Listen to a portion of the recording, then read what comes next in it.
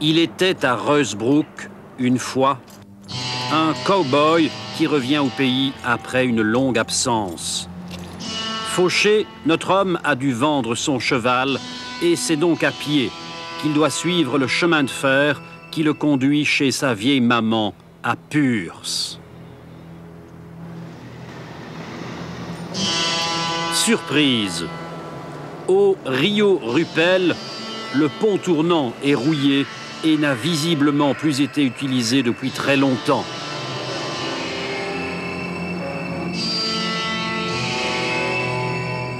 Les rails aussi sont très rouillés. Une locomotive arrive bien, mais seulement pour manœuvrer et faire demi-tour. Elle ne peut plus aller plus loin. Notre gringo ne comprend pas. À Baume, une gare de 33 millions construite en 1975 se termine en cul-de-sac. Entre le viaduc d'acier et cette station récente, un nouveau passage pour piétons de 7 millions alors que rarement une locomotive manœuvre ici. Plus loin, un pont de 27 millions au-dessus du cul-de-sac.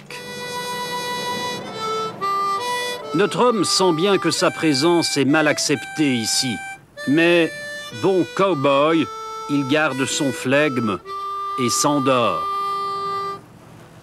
Il se souvient en rêve qu'à Reusbrook, sauvegarde, il y a dix ans existait un viaduc de chemin de fer sur le canal, un pont tournant qui permettait au train de relier Baume à Purs en franchissant le Rupel et le canal maritime. Aujourd'hui, cet ouvrage d'art a disparu et il y a une curieuse tour. Le cow-boy apprend que ce sont les voies navigables qui ont construit ces installations inachevées et inutiles. Pour permettre le passage de plus gros bateaux sur le canal, les travaux publics avaient obtenu en 1980 de la SNCB de pouvoir très provisoirement enlever le pont existant pour très vite le remplacer par un grand pont basculant. Une tour d'observation et un bâtiment, une gigantesque chambre de machines en béton et des têtes de pont ont été construits pour 36 millions en 1982. Puis, plus rien. Conséquence, des centaines de millions de matériels sont inutilisés depuis plus de dix ans et rouillés. Complètement désargenté, notre homme ne comprend rien à un tel gaspillage. Il continue sa route car il veut quitter au plus vite ce pays de fous.